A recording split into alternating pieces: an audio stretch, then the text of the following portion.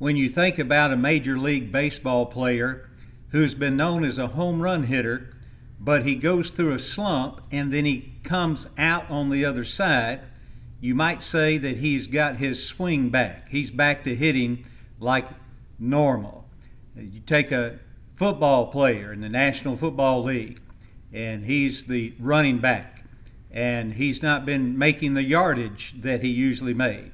But then a game or two, and he's back to gaining 100 yards, and he's running like he used to. You might say he's got his legs back. You take a professional golfer who may not have the swing that he used to have, and he's scoring higher than he usually has. And then all of a sudden, he starts winning some tournaments, and you might say he's back in the groove or he's back in his swing. You take an automobile mechanic who works on a car that has a spark plug that's misfiring, and he repairs the spark plug, and the car begins to run. Some say it even purrs, and you'll say, well, it's hitting on all cylinders now. Well, in speaking of worship, the pastors are getting back in the pulpit. And just like a cowboy who falls off his horse and gets back in the saddle, and we might say he's back in the saddle again, well, coming this June the 21st at 11 a.m., Victory Baptist Church in Douglasville, Georgia, Lord willing, will get her worship back. And I'm looking forward to it, and I hope that you are too.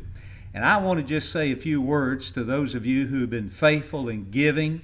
You Victory Baptist Church members, you've been praying for your church, you've been uh, staying in contact with fellow members, checking on them. Uh, you've been sending me notes and encouraging me. God bless you. You're the pastors, you're the ministers of the church, and the church is only as good as every member is good. And so I want to thank you and express my appreciation to that. And another thing that when we come back next Sunday, Lord willing, the 21st of June, which is Father's Day, we're going to call it our Father's Day. We're not neglecting the fathers, just like we didn't neglect the mothers during Mother's Day when we couldn't get together. But we're going to be focusing on our Father, our Father who art in heaven.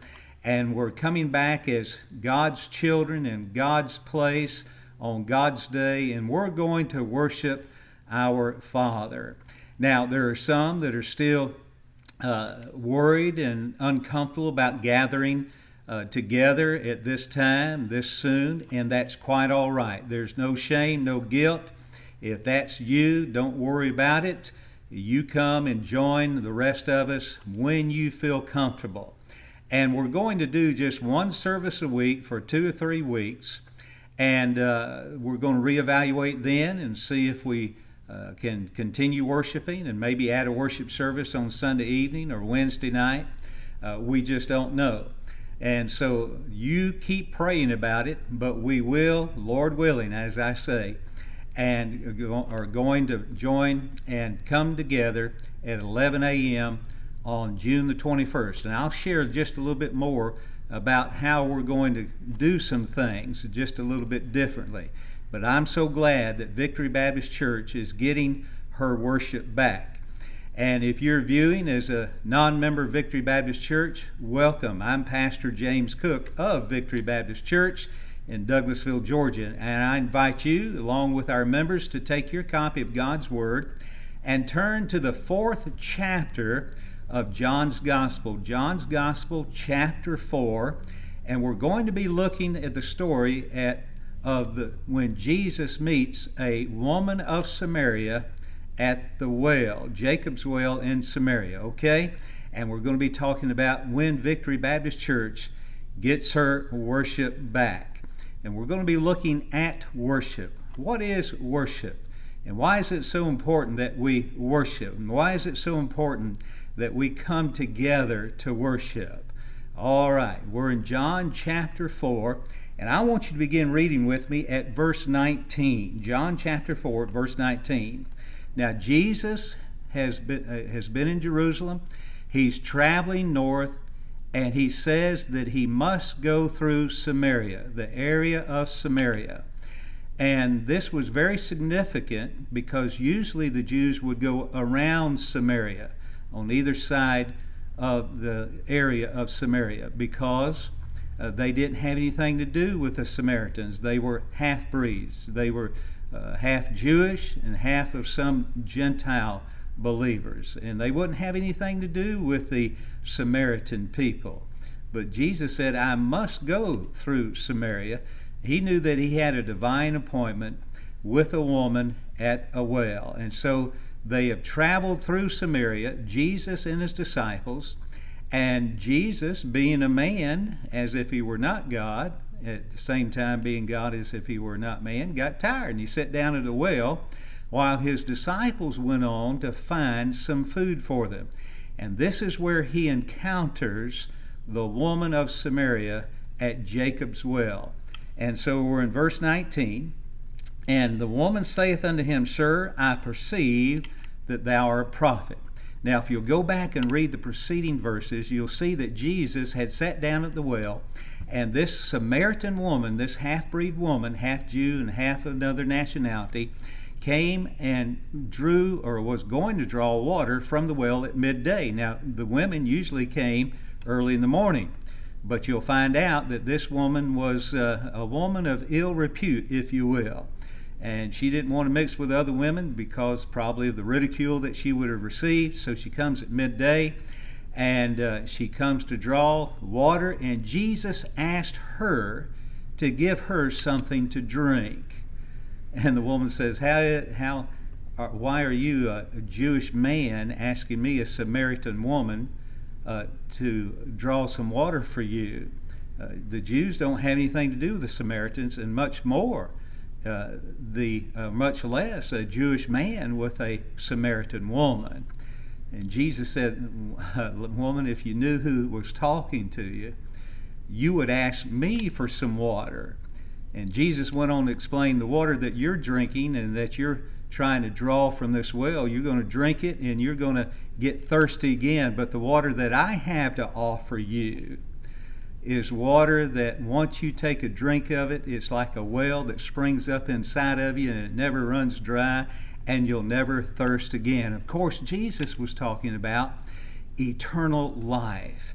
And uh, Jesus said, uh, to this woman when she said something about a husband. He, and she said, uh, I don't have a husband. He said, You're right. You don't have a husband. You've had five husbands, and the man you're with now is not your husband. And this was a woman that he just met. She had never seen Jesus in all her life, but Jesus knew everything about her. And this caused her to do some introspection and evaluation, reevaluation of who this man was that was talking to her at the well. And of course, it's Jesus. And she says in verse 19, chapter 4, the woman saith unto him, Sir, I perceive that thou art a prophet. Amen. He was a prophet. And if you contrast chapter 4 with chapter 3, Jesus saw Nicodemus at night, a religious man. Nicodemus said to Jesus, said, I perceive, or we know that you are a teacher come from God. When Jesus told Nicodemus, I'm not a teacher come from God, I'm God who's come to teach. And in the same way, as you contrast that Jesus is meeting a woman now in the middle of the day, and she's not religious, she's a woman of ill repute, if you remember what I just said. And uh, she's had five husbands and with a sixth man now. And so she says, I perceive that thou art a prophet prophet nothing. He's the Lord Jesus Christ, but he hasn't revealed himself to her yet, and he will in just a little bit. And so she starts getting all spiritual now, okay? When she thinks that she's talking to somebody that's uh, uh, with some spiritual significance. And she says, Our fathers worshiped in this mountain, and you say that in Jerusalem is the place where men ought to worship. And verse 21 Jesus said unto her, Woman, believe me, the hour cometh when you shall neither in this mountain nor yet at Jerusalem worship the Father. Ye worship, you not know what? We know that we worship, for salvation is of the Jews. And then he says in verse 23 But the hour cometh, and now is, when the true worshippers shall worship the Father in spirit and in truth, for the Father seeketh such to worship Him. Now, we're talking about getting back as a church, Victory Baptist Church, getting our worship back. And what I mean by that, getting back our public worship. But Jesus tells us here that worship, true worship, doesn't just happen at a place. Worship is not a place, but a person. He says we must worship God in spirit and in truth. Now, the place has its place. It is of significance. In Hebrews chapter 10, verse 25, the Bible says for us Christians not to forsake the assembling of ourselves, as some are doing, but to come together. And if you come together, you got to have a place to come together. It doesn't have to be in this place, but have a place. But for Victory Baptist Church, this church building at 4414 Highway 92 and 166, half a mile north of Newton Manchester High School in uh, Douglasville, Georgia 30135, is the place that we as individuals come together to worship. And I'm looking forward to doing that. Boy, I can't wait to call on some of you to pray, to hear Brother Maurice pray, to hear Brother Ray White to pray, to hear Brother Clint Went to pray, call calling old Jimmy Hildebrand to pray, and to see Brother Guy up in the uh, booth, the sound booth, and to have Sister Lynn up here in the choir, and to see y'all coming in and sitting, looking up at the pastor, looking at each other, talking to one another, heads bowed and praying, voices joining in unison and singing. I can't wait. And I hope that you can't wait either. I tell you what, I'm looking forward to seeing y'all face to face rather than just staring at this old camera. And I know that you're getting tired of looking at me so close up. See, you can come and you can sit way back in the back if you want to. You don't have to see me that close. But it'll be wonderful to get together. And when we come together, we're going to take safety precautions. We will have the masks to wear. We're going to have the hand sanitizer. We're going to have cones out in the parking lot blocking off every other parking space. We're going to be meeting you at the door, asking you to come in single file. Families can come together. We'll have the doors, both of them open, so you won't be crowded, squashed in, squished in, uh, coming in. And then we're going to have some of the pews blocked off so we can have some safe distancing. And again, we'll have the mask for you to wear. We'll ask you to wear the mask. And uh, I'll wear one until I get up in the pulpit, and I'll try not to holler too too much and spit out where the any germs I might have. I don't think I have any germs. I'm feeling fine. We'll ask you though if you have a fever or feeling sick, uh, just put it off another week until you get feeling better. Come back, and uh, we'll ask you to dismiss in an orderly fashion, not to gather in the vestibule or the fellowship hall, but if you want to, to step outside where you have a little more space. We're going to take all the precautions that we can, so we don't want to make it a a, a, a, worship service where you come out with some health problems. No, we're going to do that. And again, we're going to do that three, four, uh, two, three weeks, and we'll reevaluate it as pastor and church council. And we might add another service. I'll continue to do the Wednesday night services, but I won't continue to do the Sunday morning. I, I just can't see a way I can do it. I may do a little devotional way uh, or for you for those who can't come.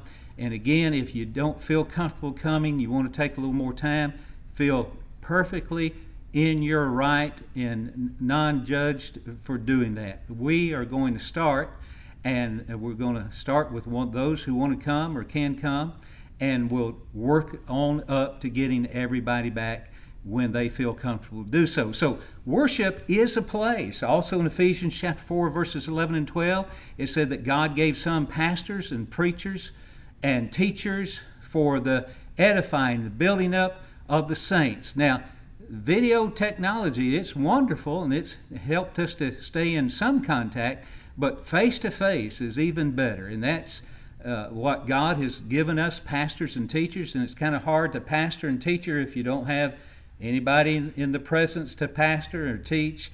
And, uh, this COVID is being over, be looking forward to getting in some homes, seeing you again and then also uh, seeing you at church. And it will be a blessing for us to gather again. I'm looking forward to it.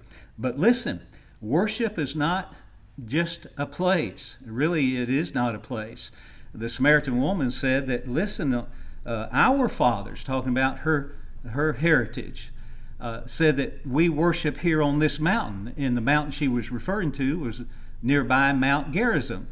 and said, We worship there, but you Jews say that you worship in Jerusalem. And Jesus said, You know what? It is true that we are to worship in Jerusalem, and uh, salvation comes from the Jews. And what you've done has not been scripturally approved, and uh, that's the wrong place. Jerusalem's the right place. But he says there's coming a day when those who worship the Lord will worship him not just in a place, but they'll worship him in spirit and in truth. And so he's talking about that the worshipers, the true worshipers, when Victory Baptist Church gets its worship back, it will worship in spirit and in truth. Now, that's what we've been trying to do, and that's what we're going to continue to do. In spirit, as in comparison to just mere uh, uh, man's efforts, we've got to have the Spirit. And of course, we understand biblically that the Holy Spirit comes to live in us, dwell in us, and it is He that we worship, and it's He that helps us to worship, for God is a Spirit. And we must worship in truth. And not only in sincerity, but in truth, not only in the Spirit, but in truth. And truth is based on the Word of God. Uh, the words of God are true and amen and in truth as compared and in contrast with man's religious rituals and ceremonies and all kinds of things that we do to try to make ourselves to look spiritual. See, Jesus was not only getting on to the Samaritans for them worshiping in the wrong place, but he was also getting on to the Jews for worshiping in the wrong way. They could bow the head and bend the knee, but the worship, the true worship, was not in them. Their heart was not in it. And that's what Jesus is saying. He says that we must worship in spirit and truth. Now, we're looking forward to coming back on Sunday and Victory Baptist Church getting her worship back. But don't come to church to look for worship. Bring your worship with you. Let me repeat that again. Don't just come to church to worship, bring your worship with you. You must have a personal time of worshiping the Lord Jesus Christ, getting right with Him, praising Him.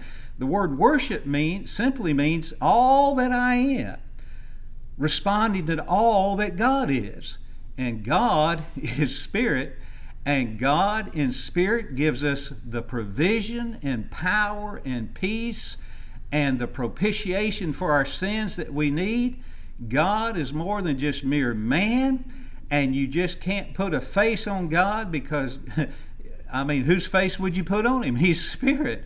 And he's revealed himself to us, though, through the Lord Jesus Christ, who is God in the flesh. And we must worship him in spirit and in truth. It's not mere formalities, it's not form or fashion, but it's the Lord Jesus Christ whom we worship. We worship the Father through the Spirit in the name of the Lord Jesus Christ. That's who we are. So don't just come to church thinking that you're going to be bringing an empty bag and we're supposed to fill it up with worship and you take it home. No, bring your worship with you. It's like the fellowship meals that we have. Everybody brings a covered plate and we put it out on the table and we all feast from one another's contribution. Bring your worship with you and let's put it out on the table and let's all feast, spiritually speaking, and worship the Lord from everyone's contribution. And especially, we have to be dependent on the Holy Spirit to give us that presence of His that we might worship Him, that power that He has that we might worship Him, the peace that comes through salvation in the Lord Jesus Christ, that there's no enmity, there's no wall, there's no division between God, who we say that we come to worship because we've been washed in the blood of the Lord Jesus Christ, we've been made pure, we're clean, and we have access to the Father through the Lord Jesus Christ that we might worship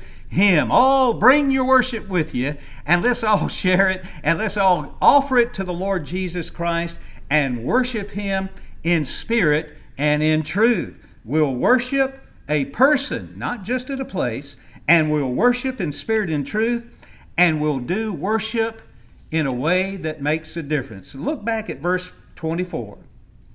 Jesus continuing and speaking to the woman at the well, telling her that God is spirit and we must worship him in spirit and truth. In the last part of verse 23 says, For the Father seeks those to worship Him. He's not looking for church buildings, their ornate furnishings, their structure on the outside. You can meet under a uh, uh, uh some palm branches that make shade out in the middle, middle of the desert, and you can have better worship than the biggest churches in downtown Atlanta or any other metropolitan city. It is not the building that makes the difference. It is the believer who makes the difference. The believer who comes to worship in spirit and in truth. And so it says, God is a spirit, and they that worship him, in verse 24 I'm reading from, for, from God is a spirit, and they that worship him must worship him in spirit and in truth. And God is looking for those kind of people. Did you know that if you're worshiping in spirit and truth, God is looking for you? He really is. The Psalms say that God inhabits the praises of his people. You ever feel like the devil's hanging around too close to you? One way to run him off is start worshiping the Lord Jesus Christ in spirit and in truth. And God says, I'll inhabit the praises of my people. That is, He'll come and dwell with you that worship Him in spirit and truth. And when we worship in that spirit and truth, and God dwells in our presence in a very powerful and, and, and, and uh, uh, literal way, if you will, the devil has to leave. He can't stay in the same place uh, the Lord Jesus Christ is. So let's bring our worship with Him and praise the Lord. And then, thirdly, if I hadn't already told you this, we are to worship in a way that makes a difference. That is, some of us are looking for church to get back to normal. I understand what you're saying. But you know, we've been through a lot of stuff these last three months. Could you imagine the week, the last week that we had service? of what was going to take place, not only the COVID virus, but the uh, injustice that was visualized across our nation and the responses that we've had to that, and how it has shaken us to our core. Uh, we ought to come back to church different, and our worship ought to be different. We're worshiping the same God, but now because we have been absent from one another and not able to worship. That ought to cause us to be a little more appreciative of the privilege that we have to come together. And no more waking up on Sunday morning and saying, I don't feel like going to church. God just might make it where you don't feel like going to church for the rest of your life. And God doesn't uh, play these games. We're to come to worship with Him. And it should have been a time of re examining ourselves and then to understand that God has made us all of one blood, of one flesh, and none of us are superior uh, uh, to any other, and we shouldn't be uh, uh, uh, demonstrating that or acting like that in any way. Someone has well said that the ground at the foot of the cross is level. Listen, we're all sinners and we need to be saved. And I need your help. I don't care what color you are. I don't care from where you've come. I don't care what your past is. Uh, if you're a believer in the Lord Jesus Christ, you're my brother or you're my sister in Christ, and we're a family and I need your help, and I want to help you. This has been a time of re examination for this old pastor. And I've got a congregation of a lot of people that have been hurt and they've been shaken in a different way than I've been hurt and I've been shaken. And we have to look at one of others' needs. And God's placed us in this church at Victory Baptist Church, I believe, with all my heart, for us to not only recognize one another's needs, but try to do something about it in the name of Jesus Christ. I'm not looking for a government program. I've already got my program from the Bible. The government's failed us in so many ways. The government's helped some, yeah, yes, it has. But the Bible, a government based on the Bible, and our living based on the Bible is our best answer yet. There's nothing better than living out the Word of God. I said living out the Word of God. I can profess it, but not possess it. I can say I believe it, but not live it out. That's the difference. We have to live it out with one another. And we have to be God's children and get together. And it ought to make a difference. Now, it made a difference in this woman's life. Look at verse uh, 25. The woman saith unto the him, he says, she said, I know the Messiah is coming, which is called Christ. When he is come, he will tell us all things. That's just another way of what many of us have been saying today. When Jesus comes back, He'll make it all right. That's what she's saying. He'll tell us all things. He'll tell us whether or not we're worshiping here is if it's right, if I'm living my life the right way, I'm telling you what, we're looking forward to the coming of the Lord Jesus Christ, but you better be ready for the coming of the Lord Jesus Christ. The reason that the pastor and the reason that the Bible and the reason that God tells us to be ready is that we might repent and get right for when He does come back. And like a thief that comes in the night and we're not ready for him, the Lord Jesus Christ is coming, and we need to be ready for him coming back. And so this woman says, he, He's going to tell us all things. Well, Jesus says in verse 26, I that speak unto you am He. We don't have to wait till Jesus comes back to straighten things out. He's already given us His Word to straighten things out. And if we don't get it straightened out now, we don't want Him to come back to straighten it out because it's going to be it's going to be awful. It's going to be uh, horror for some people. We need to get right with Jesus, and we need to get right according to His Word. Now, when He told her that He was the Messiah, this is her response. And upon this uh, came his disciples and marveled that he talked to, with the woman, yet no man said, Whom seekest thou, or why talkest to her? And the woman in verse 28 then left her water pot. Now, she that was a very uh, uh, useful thing to leave your water pot.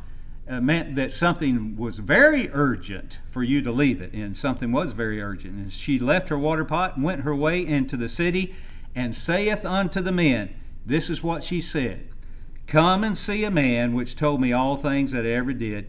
Is not this the Christ? This is the difference worship made in her life. When she left church there, it was she and he at the well, Jacob's well. They had church there at Jacob's well, the Samaritan woman and the Lord Jesus Christ.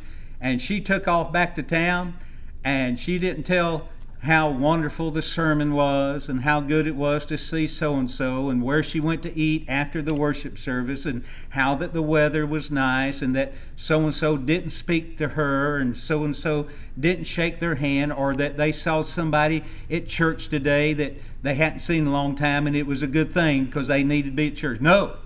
She went back and she shared her experience and her experience was all based on meeting Jesus. And when she met Jesus, she couldn't wait to tell others to come meet him too. He had done something in her life that changed her life. This is a man that knows everything I've ever done. And I'm telling you, he knows everything that I've done. He knows everything that you've done. And you better come to Jesus and go ahead and confess it. He already knows it and ask for his mercy, and he's willing to give it. That's why he came to this world to die for your sin and my sin, that we might give our hearts to him and give our worship to Him because worship, as I meant to tell you earlier, means that He is worthy of all that we are, responding to all that He is. And what I forgot to tell you is all that He is is everything. He says, I am the way, the truth, and the life. I am the bread of life. I am the water of life. I am the door to heaven. I am the vine and you're the branches. You can't do anything without me. I am the resurrection and the life. He's everything and he deserves our worship. It's based on his worthiness and he's more worthy than anybody. He's not number one on the scale of uh, the top ten. He's the only one. He is the sovereign Lord Jesus Christ. He said, Come and meet this man. Is not this the Christ? What other evidence do you need? What other evidence do you need and I need that Jesus came in the flesh? He bore our sins on Calvary. He died. He was placed in a tomb. And on the third day, he rose again to life. Sometimes when I'm witnessing to somebody, they'll say, uh, Pastor, if God really loved me, why doesn't he show me? What more can he do than to send his only begotten Son that died on the cross for you, showed you how much he loved you? What more can anybody do? No one can do more than what God has done for you and given his very best. You better worship him. And then it says in verse 30 and 31 Then they went out of the city, came unto him, and in the meanwhile his disciples prayed him, saying, Master, eat. They came back with the food and said, Jesus, we want you to eat. Jesus said, I'm not hungry now. Somebody says, Well, who gave you some food? And he said, I've had some food that you don't know of. It's not food, meat and bread, and potatoes, for man shall not live by bread alone, but by every word out of the mouth of God. He had some spiritual food, and he was living and thriving on that. He had led somebody to himself. They placed their faith and trust in Jesus. And so, in verse 39, it says, And many of the Samaritans of that city believed on him for the saying of the woman which testified, He told me all that I ever did. So when the Samaritans were come unto him, remember these were half breeds, breeds, they were rejected and despised. They uh, suffered injustices under the Jews who thought they were better than them. And the Samaritans come out to them, came, and they besought him that he would stay with them. And he abode there two days. He stayed with them two days, and many more believed because of his own word. And they said unto the woman, Now listen here, now we believe, not because of just what you said, but we have heard him with our own ears ourselves, and know that this is indeed the Christ, the Savior of the world. Oh, Victory Baptist Church is going to get her worship back on. And we're going to come and worship in this place, but it's not the place that we worship. We're going to come and worship the person, the Lord Jesus Christ. It is our Father's Day, and our Father's children will come to worship Him. And we're going to come and worship in spirit and truth. The Spirit in you bears, uh, bears witness with the Spirit in me because we're believers in the Lord Jesus Christ. I'm going to take this Bible and I'm going to open it up and I'm going to preach God's Word to you, asking God to help me and we're going to preach and we're going to sing and we're going to pray and we're going to fellowship and we're going to worship in such a way that when we leave this next Sunday, June 21st, we're going to leave differently than when we came in because that, that's what God calls us to do. And we're not just going to come to worship, we're going to bring our worship with us. And then when we leave, we're going to take our worship with us too, that we might share it with others and tell them, come see a man that knows all about me and save me. Oh, what a difference it makes. Sometimes when a man goes off to war and he uh, experiences the horrors of war and he comes back, family might say he's not the same man coming back as he was when he left. Well, I want to tell you, we're not going to have war here. What he experienced in wartime, we're going to experience in worship time. And it ought to be said of us when we come and gather together in God's house, it ought to be said of us from those who know us the best.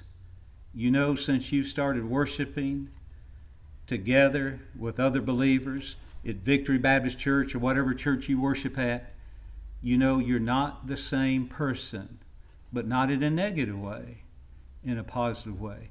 People ought to know that we've had an audience with one, and we've bowed the head and bended the knee and given the heart to worship Him.